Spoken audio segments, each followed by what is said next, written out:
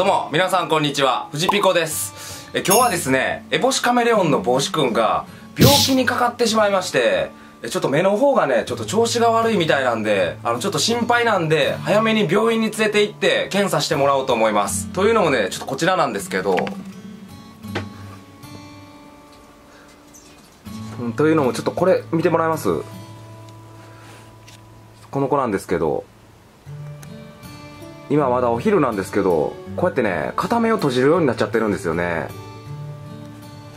カメレオンって体調が悪いと目に現れるんですけどこれ最初脱水症状の一つなのかなと思ってちょっと目あの洗ったり目洗浄したりとか水飲ましたりとかしてあげたんですけどちょっとあんまり良くならないんでひょっとしたらこの目の中に傷ができてそこから感染症になってる可能性があるのでちょっと早いうちに今日今から病院に早速連れて行ってあげようと思います。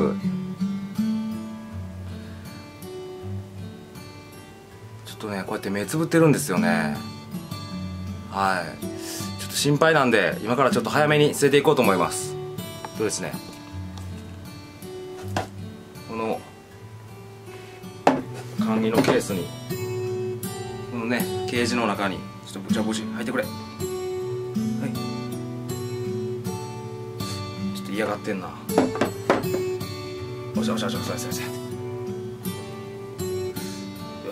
し入りました。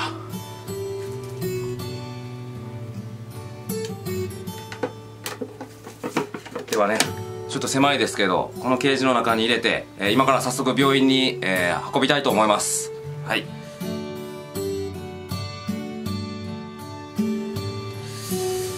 はい。はい、えーとりあえず帰ってきました、えー無事診察をしてもらったんですけど、えーそうですね一応このケースに入ってるまんまなんでちょっと今あの移動のストレスがあるんでちょっと今日のところは早めにケージに戻してあげようと思います。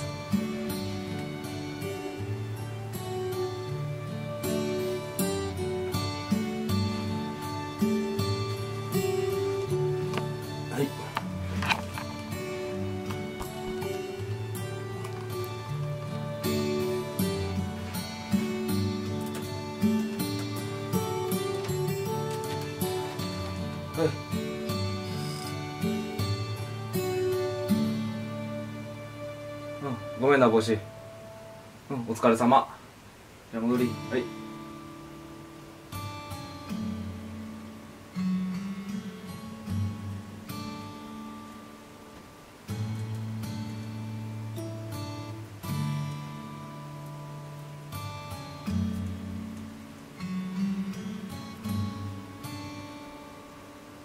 えーひとまずね、え診断の方は無事終わったんですけどもあそう今回帽子のことを見てくださった病院っていうのがあのお茶の水にあるレプタイルクリニックさんという病院に見てもらったんですけど、えーこちら爬虫類をメインに見てくださってる先生がいる病院であのネットとかでも結構評価が高くてですねカメレオンの他にもカメだったりとかトカゲだったりとかヒョウモントカゲモドキレオパですね。とかいろんな診断をしてる病院なので、えー安心してちょっと先生にお,、まえー先生にお任せしたんですけども、えーそれでですね先生に見ていただいて診断で出た結果がライトが近いことによって起こる、え目へのダメージでああいうふうに目をまぶた閉じがちになってたみたいですね。なのでねとりあえずはでもその感染症とかその内部の病気じゃなくてよかったんでちょっと安心はしました。いやでも環境飼育環境ということなんでやっぱりこれはちょっとね飼育者の僕の責任だったので、えー今回の件はですねしっかりと受け止めて、えー帽子の環境の改善に努めて、えーこういうことが起こらないようにきちんと飼育していこうと思いました。え一応ですね、えこういうふうにあの薬の方も処方していただきました。ちゃんとねこれ藤田帽子様っていうねふうにこの名前書いてくれてでで出してくれた薬がですね、えー一応目薬。そうですね、えっと、点眼用のあの抗生物質の入った目薬を、えー出してもらいました。こちらですね1日23回を目安に、えー点眼してくださいとのことでした。あと他にしてもらった処置内容がですね、えー一応そのライトが近いことによってこの手の方をねあのやけどしてしまったので、えーちょっと一応ねあの体力がそれで落ちてるかもしれないということなので抗生物質の方注射1本打ってもらって、えーであとはもう様子見ということで先生的にもねまたちょっと軽い症状だったので、まあ、早めに気づけてよかったということだったのででそのねライトなんですけどちょっと見てもらいましょうか。まあ、今現在こういう感じの飼育環境で飼育してたんですけどあこの黒いのがこれバスキングライトですね。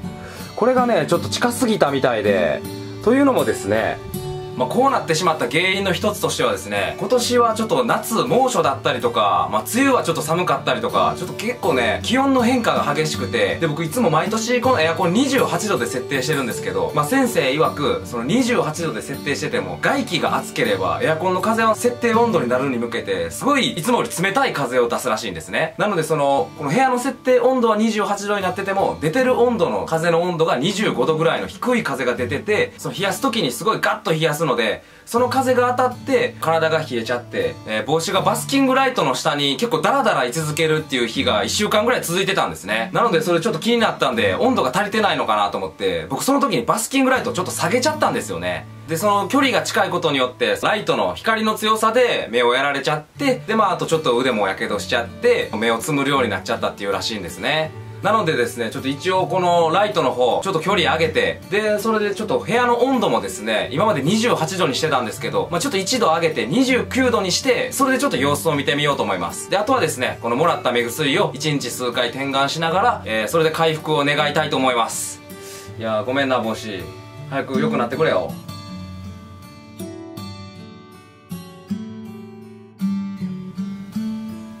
えー、おはようございます。ただいま時刻は朝の9時ですね。今バスキングライトがついたばっかりなんですけどもえ帽子はこれも起きてるんですけどもやっぱり左目の方はまだ閉じてる状態ですね。はい。なので早速本日1回目の目薬を点眼しようと思います。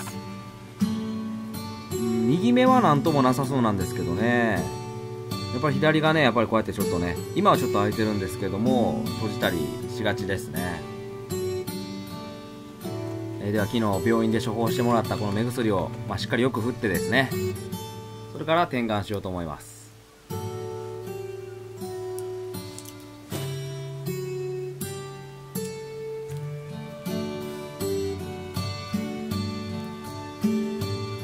ああこらこらこら尻尾が。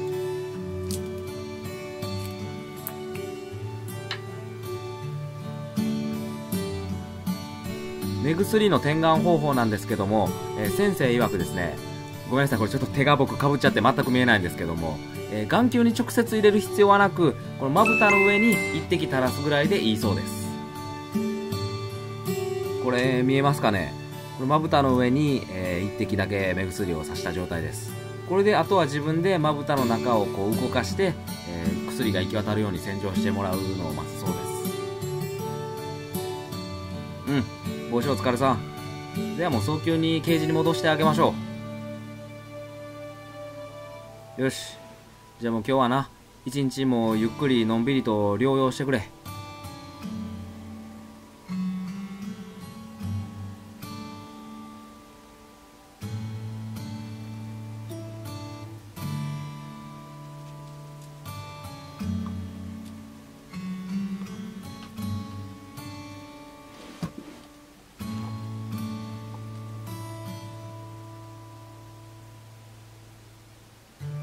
これ分かりますかね？この右手のねこの付け根の部分なんですけどもこれちょっと黒くなってるんですけどもこれがちょっとねやけどさせちゃった部分なんですよ。あら早速目薬したところちょっと木の枝でこすってますね。いやちょっとあんまりこすらんといてほしいですけどね。やっぱちょっと気になったんですかね。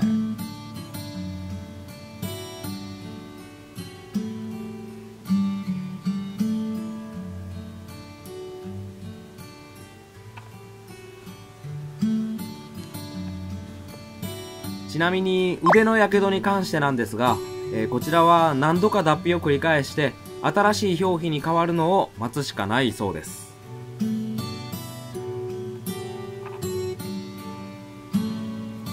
あとバスキングライトなんですけどもこちらもね、えー、前よりも2センチぐらい上げてちょっと距離を取るようにしました、えー、この環境で、え目が良くなるまでしばらくしっかり観察しながら飼育したいと思います。